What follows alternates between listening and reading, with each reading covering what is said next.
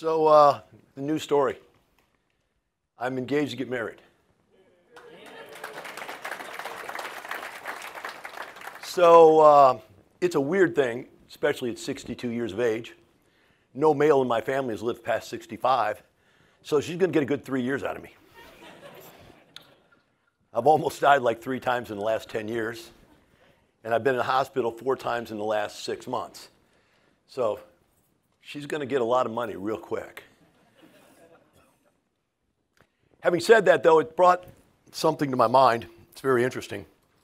You would think that all the different things that happened to me, where I've been sick or almost dead or killed, and all these things have happened in the last many years, even more recently, a lot in the last six months, would make me think. You know, you would think about stuff and go, what's the meaning of life? It didn't. But getting married is the weirdest thing in the world. You guys just did it. When you're young, you do it and you don't even think about it, right? You go, ah, let's just get married and we'll go fight the world together. But what happens when you get married and you've already fought the world and you've won? You go, okay, now what are we going to do? Where are we going to go? And all of a sudden, for the first time, really ever, because when I first got married, I was like 19 years old had no idea. You know what I mean? Didn't have two dimes to rub together. But now I'm sitting here going, what are we going to do? Now you have to think in parts of two. Does that make sense? It's the weirdest thing. I haven't had to think as a part of something for 50 years. Whatever, 20 to 60, whatever that would be, 40, whatever it is. It's weird. Do you feel that? Do you feel like you have to make decisions with your spouse? Do you? Now, I've told people for years that's the dumbest thing in the world. If you can't make a decision without your spouse, you're a wimp, right? Right? My favorite saying used to be take your right hand, stick it between your legs if there's anything there. Take your left hand and sign this contract, and let's get going. Because you don't need to go home and ask your wife if you've got any. Honey, can I have mine today? Can I take them with me? Right? Can I have the spare even? But now I have to think like two. It's a weird deal. So you start thinking about weird things like prenuptial agreements and wills and how much money you're going to leave to each kid. And you're like, why do I have to plan all this? Why can't I just die in peace? But now I have to know what's going to happen after I die. I've never wanted to know what happens after I die. But I started thinking about it's a commitment. Marriage is a commitment. But now what you're doing is you're committing to these other people the person you're marrying, the kids, all these people. You're committing. And so this, this week I did some radio shows about commitment, and it really sort of struck me that we make so many commitments in our life that are ridiculous, and we think nothing of them. Yet we could make great commitments and have them get become accomplished. I was just sitting eating with somebody just a minute ago before I got here, and he brought up a good point. He goes, Dale, you've got thousands of stories, you've done hundreds of things. It's all really exciting. Your life's been incredible. I go, because I've set out to do what I want to do every time and got everything I've ever wanted and did everything I ever wanted to do. So why doesn't everybody do that? Why do you stay at the same job that you're not happy with, that isn't making you rich, for the rest of your life? Why do you stay in a marriage that doesn't work? Why do we do these things? And so I started thinking about commitments. And people talk us into commitments. I have one I want you to think about tonight. How many of you have committed to send your kids to college? Anybody? Some of you are old. You said, I've already got them out of there. Right? I got through that. So here's a commitment I'm going to commit to my kids that I'm going to get them a college education, spend 50,000, 250,000, whatever it costs to get them a college education, so that they can get a job and work for the rest of their life. Wow. I know when you took that commitment on, it seemed really, really smart and really important. But by 34 years of age, I was a retired millionaire. I didn't think it was all that smart to tell my daughter she had to go to college. I said, look, let me just leave you 10 or 20 million, and I think you'll get, a, you'll get along okay.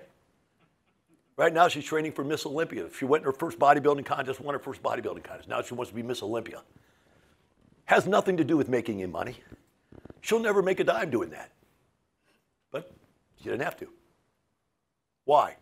Because you could make a slightly different commitment. How about a commitment to say, I'm going to go out and buy enough real estate that there'll be enough passive income to put my kid through college? I'm going to take the same money and the same commitment that I, I committed to getting my kid through college.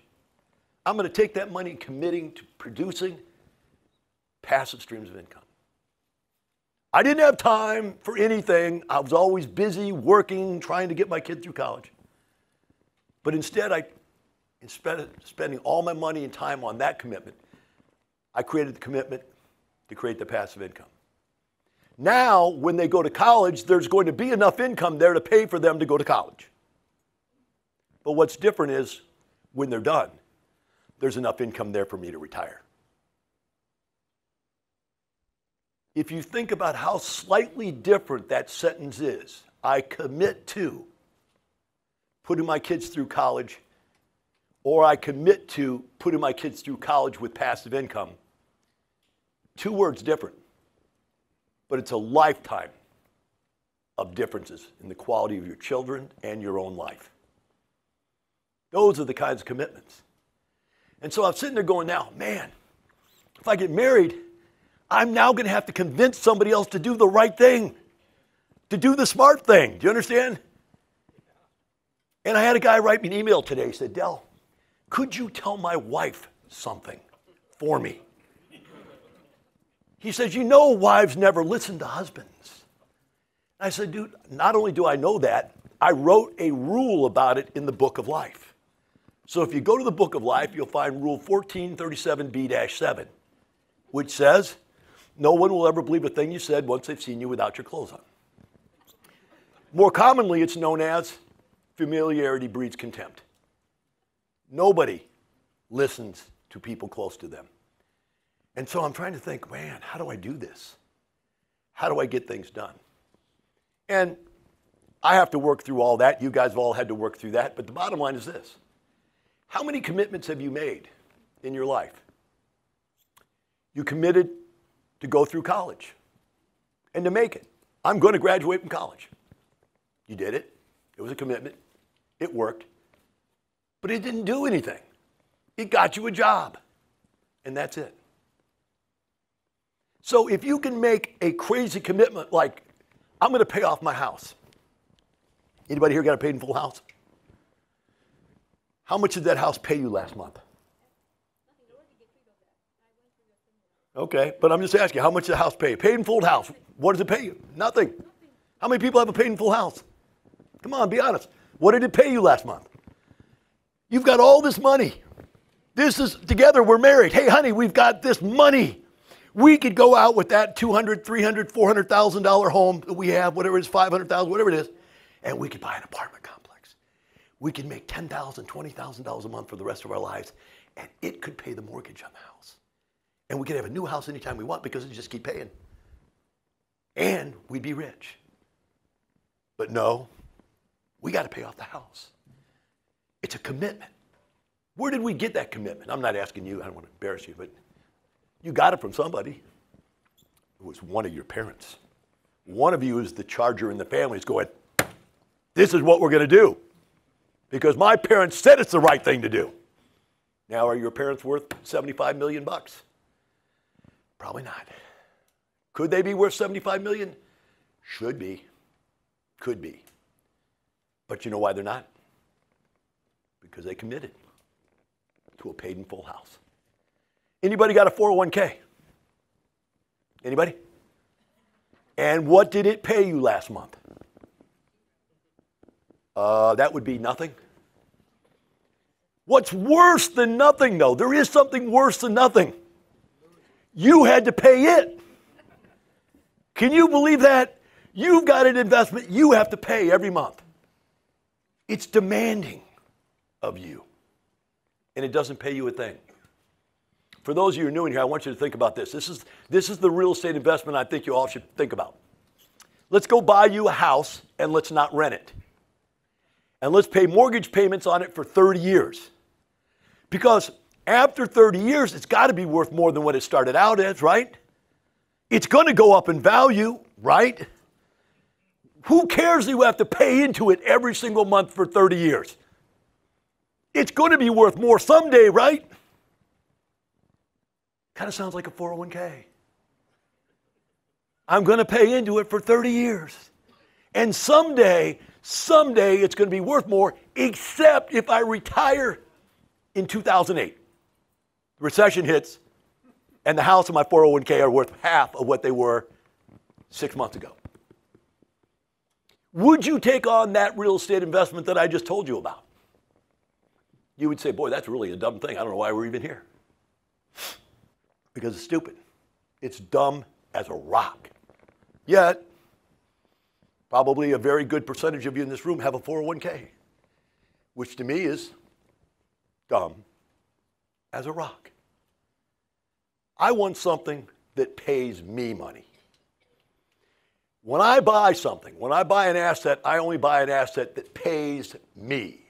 I don't pay it, it pays me, or I don't buy it. What about gold? I once was doing a seminar in front of 500 people with Fox News experts with me there on the panel. And they go, Gold, gold's where you need to be, inflation. I said, Gold is a rock. That's all it is, it's a rock. It's useless. Some of you like dirt, you buy dirt. I got a lot somewhere. I bought a lot, we're going to retire on it someday. But you're never going to retire because you're never going to have any money. And the reason I know you're not going to have any money is because you're stupid enough to buy a lot which pays you no money. How can you get rich if nothing is paying you money? Your 401k is not paying you, your IRA is not paying you, that lot you're going to retire on is not paying you, your paid in full home's not paying you. Nothing you own is paying you money. How are you ever going to get rich? And how are you ever going to retire? I don't see it. it just doesn't work. So let's make some different commitments this year. I was uh, sitting here today in a meeting, and I've been out sick, like I said. And there was a guy came in, he was talking. And all of a sudden we realized we're looking around, they're going, why are there so many people in this room that are rich? So many people in this room that are retired. How can you get that many rich and retired people together in the same room? And they said, Why did you do all this? Why did you create this? And I thought about it. I came up with my pat answer that people don't like to hear. Is that when I was retired at 34 years of age, I had nothing and nobody to do anything with. Everybody I knew had to get up and go to work every day. I had no friends. I had nobody to hang around with. So I had to create a situation where I taught people to become rich so that I had friends to play with that didn't have to get up and go to work every day.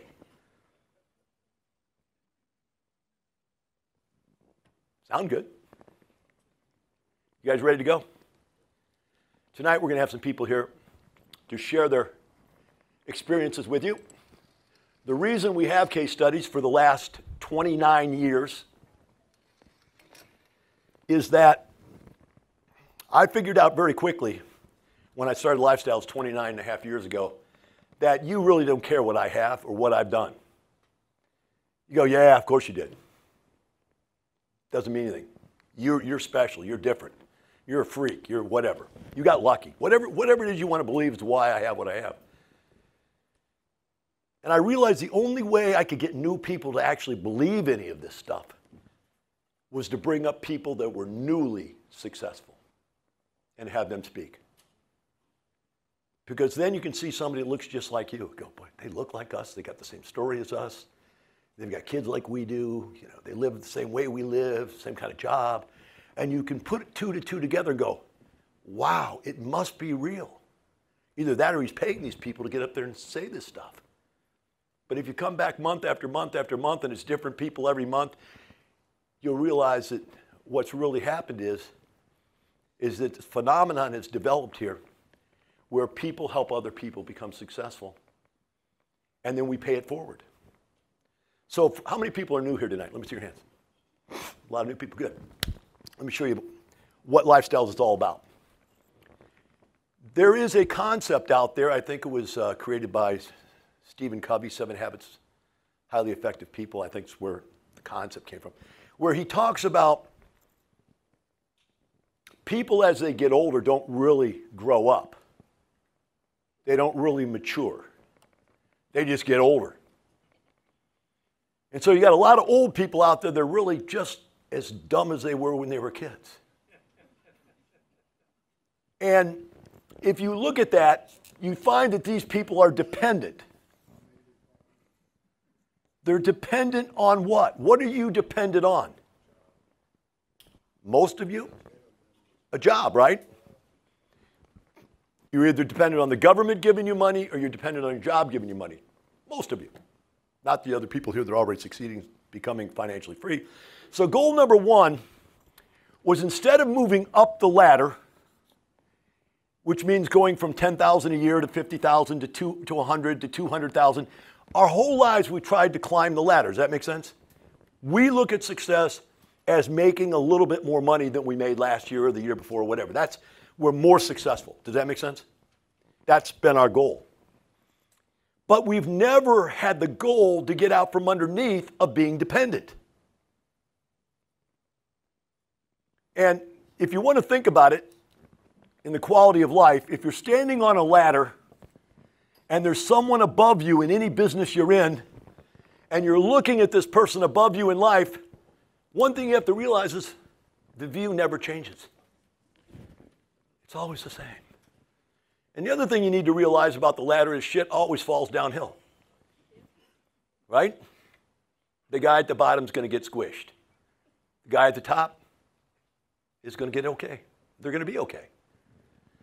So your goal was to try to get as high on the ladder as you can so less shit came down and hit you in the head every day. That was your goal. We have a different goal for you. We want you to become independent. Now, we're going to call this a job, and we're going to talk about being self employed. When you're self employed, there's still a ladder that is about how much money you make, right? and you go out there and determine how hard you're willing to work to make a certain amount of money. But there's two things that are different. There's no one above you giving you crap every day, right? And there's no one blocking your way up the ladder. Some of you would be happy with $10,000 a month. I was talking to people just a minute ago, we are out to dinner. And the guy says, What is the biggest thing you find wrong with helping people for the last 30 years? And I said, Look, here's my biggest problem is that I teach you how to make money, lots of money, but what I can't seem to teach you that somewhere along the line that should be enough. Is 10,000 enough that you could just be happy? Is 20,000 a month enough? Is 50,000 a month enough? Is 100,000 a month enough? And the guy goes, Del, how do you do nothing? I said, I do nothing because I'm not concentrating on making more money. See, when you're self employed and you work hard, you have to work for there to be money. If you own a business, most people don't really own a business, they own a job. And so, what that means is well, I had it explained to me really well one day. I think it was at a case study. A guy came up to me and said, I've got a turnkey business. I said, Really? What is that? He goes, If I go to work and turn the key, there's business. That's pretty good. I like that. And then my comeback to that is always this I have no keys. How do I have no keys? You realize if there wasn't somebody here to let me in, I couldn't get in Life's House. I don't have a key. In fact, since I stopped coming years ago, they actually put alarms and codes on the doors. Now there's an alarm on there, isn't there? And there's card keys. I don't even have one of those. I used to have a key, but the key doesn't work anymore. And the card key, I never got one. Right? So I don't have a job. I've never been to my apartments except to buy them. We closed on them. We went there. We inspected them. We said, hi, how you doing? Great. Okay, send me the checks. Send me the money. They go, well, man, don't you want to go over there and just watch and be involved and get all in it? I go, I know that's what you want to do because you don't feel like you deserve money unless you go get in it. I don't want to be in it. There's only two types of people in the world those willing to work and those willing to let them. It takes both. I'm happy to be on the other side of that line now. I used to be one of those you got to work kind of guys. But it took a long time to get it into my head you don't have to work to make money. So what happens is you eventually realize that the world for successful people, successful people are interdependent. Now, you can't be dependent and interdependent. It doesn't work. Either you're dependent, right? Or you're free, you're independent. But to be interdependent, you have to have a group of people putting their efforts together, pooling their knowledge, their credit, their money, their resources, pooling them so that no one person has to work their butt off to get rich. We call these things, believe it or not, we call them a business. And guess what in business? We're climbing the ladder of how much wealth we have also. But there's a few things you need to understand about a business. If I'm not using my own credit, I'm not using my own money, and I'm not using my own knowledge, what are my limitations? What if I'm not using my time? I should have left that one. Thank you for putting that one in there. If I'm not using my own time, I'm not managing it, right? I have somebody smarter than me managing it. I'm borrowing 80% of the money from the bank and 20% of the money from investors. I'm not using my money. And the credit is non recourse. I don't even have to sign for the loan. The business signs for the loan. What's the limitation? Absolutely none. One of our consultants here, Curtis Haynes, I don't think he's here tonight. Is Curtis here tonight? No. Curtis, every time I talk to him, owns another apartment complex or two or three. He's currently up to, I believe, and I'm, I'm just making up a number, 60 some apartment complexes, and he owns like 13,000 units. And the only thing I'd say to him is, Curtis, why? He just can't stop. But that's okay. That's what he wants to do. But the point I'm making to you is there's no limitation. Nothing can stop him. The more money you make, as you do this and you create passive income for yourself, the more money you make, what are you going to do with all that money? Oh, well, Del, I know a lot of things I could do with my money. People tell me that all the time. I'll take your money, Del, if you don't know what to do with it. You'd lose my money. Do you understand that? If I gave it to you, you'd lose it. Because if you don't know how to make it, you don't know how to conserve it, you don't know how to keep it, you lose it. But the reality is, somewhere along the line, pick your number. How large a house do you want to live in? What would make you happy? Are you good with a million dollar home? Is a $2 million home good enough? $5 million home? The girl I'm getting married to made me leave my million dollar home in the Galleria because I had had other girlfriends' DNA in that building. She goes, and besides that, if another girl lived in this house with you, I got to have one bigger. So she went out and got me a 16,000 square foot home with a 20 car garage.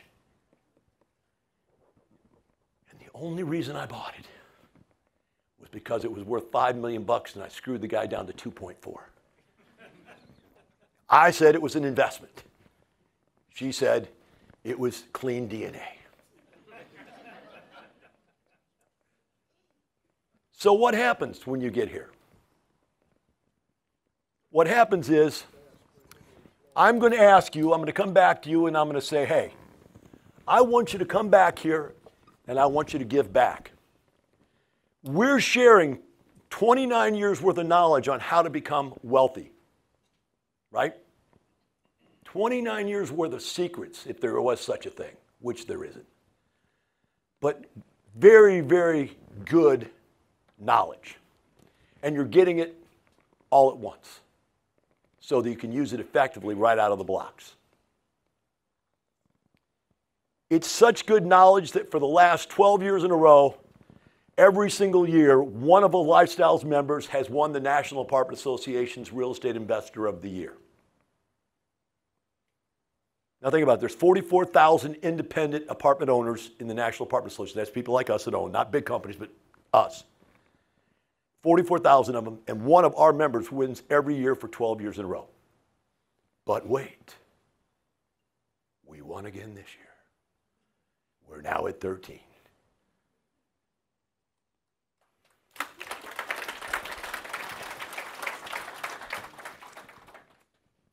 You know, when you were a kid, you were told that you needed to make commitments. Here was a commitment I commit to take this test on my own. I'm not going to look on somebody else's page. I'm not going to cheat. I'm going to figure it all out myself. I'm going to do it myself. And what that commitment has done has created in you a worthless commitment to yourself that you tell yourself every day if I don't invent the way I get rich, if I don't make it my way, if it isn't something I thought up, then I don't get any enjoyment from it at all. I've got to do it my way. Right? And what I'm saying to you is, boy, that was the dumbest thing they ever taught you in school to not cheat. Every time somebody does something great here at Lifestyles, you know what I do? I go copy it. And then I bring it back and teach it to you guys so you don't have to figure it out. Does that make sense? In 29 years of copying everything that has worked and figured out everything that you figured out doesn't work because you've tried them all. Now we can tell you what to do. And so you're going to be able to take that knowledge and become independent, eventually interdependent. But watch out. Mark my words. I'm coming for you. I'm going to get you. I'm going to get you to do a case study or two. I'm going to get you to do road trips where we take people out and show them your stuff. Yeah, we're going to your place to see it. And then one day, you'll get that little phone call. Uh, yeah, I see that you're really, really successful, got a lot of money, and really don't need to work anymore. Would you please come back and teach and be a mentor? Can you imagine, for those of you guests, think about this. What good are teachers? You're a young guy. What good are teachers? You go to school, you got a teacher, and some of you in here are teachers, so I don't mean to insult any of you. If you know how to do ABCs and you can teach ABCs, that's cool. But who teaches you how to be a millionaire? Got to be a millionaire. Does that make sense? You can't have somebody doesn't know how to do it. I wrote a book on it. I read a book on it. Now I'm going to teach you what I read. That doesn't work. But how do you get millionaires to teach? First of all, most people don't want to give away their secrets. That's the first problem. Second problem is once you're rich and retired, you really don't want to go back to having a job. Right? So the way I get them to do it is I shame you into it. I tell you, if you don't do it, you really are not giving back to what you should have given back for the fact that you're now that rich person sitting out here tonight laughing at all this because you're going, Yeah, I remember the first day I ever came here, I sat in that chair right there and I didn't believe a thing anybody said. And of course, I thought you were an obnoxious asshole, which was right. But at the same token, I saw those people that got up here tonight and shared and said, If those people can do it, I can do it too. That's what you're here tonight for so that someday you'll have enough to give back. I tell people all the time you want to commit to something, commit to having enough that you can give it away. There's a commitment. You're poor until you have enough to give away. Does that make sense? You're poor until you have enough to give away. Because as long as you don't have enough to give away, you're still groveling. You're still wanting more. You're demanding that you put the chips on your side of the table in life.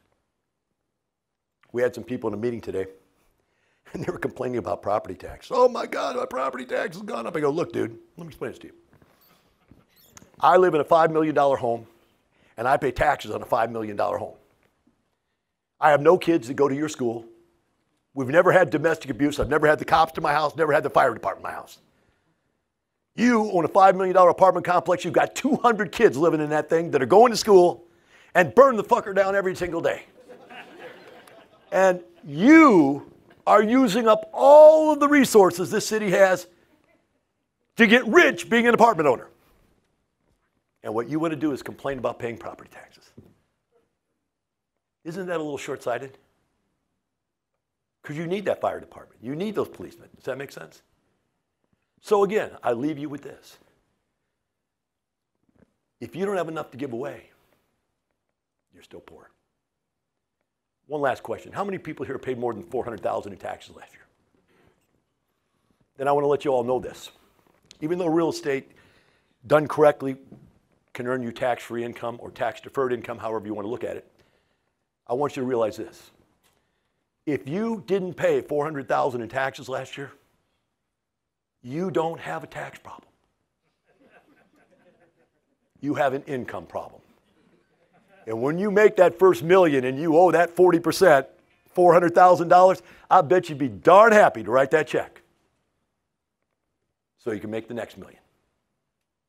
Unfortunately, what you don't understand is we don't have to pay the 400,000 because real estate done correctly will be tax free. Hope you enjoyed tonight. Have a good time.